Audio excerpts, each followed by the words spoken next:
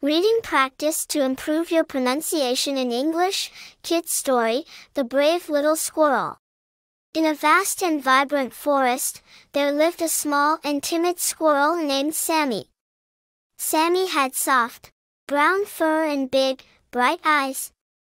Unlike other squirrels who loved to leap from tree to tree, Sammy was afraid of heights. He preferred to stay close to the ground and collect acorns sunny morning, Sammy was busy gathering acorns when he heard a distressed cry from high above.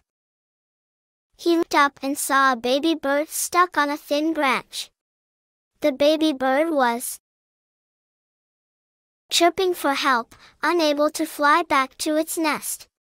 His heart filled with compassion, and despite his fear of heights, he knew he had to do something. Taking a deep breath, he climbed the tree with slow and steady steps. His fur quivered with nervousness, but he couldn't let the baby bird down. What felt like an eternity, Sammy reached the baby bird.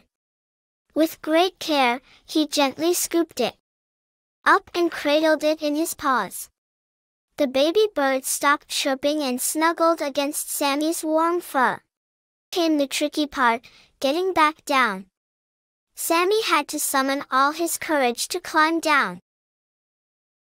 The tall tree. Step by step, he descended, his heart pounding in his chest. He refused to give in to fear. Sammy reached the ground safely, he gently placed the baby bird on a nearby branch, and the little bird's mother soon appeared, relieved and grateful. She thanked with joyful chirps and flew away with her baby. Other animals in the forest had watched Sammy's brave rescue. They cheered and clapped for him. He felt proud of himself, realizing that sometimes, facing your fears can lead to amazing things. That day on, Sammy was no longer known as the timid squirrel. He had earned the nickname, Sammy. The Brave.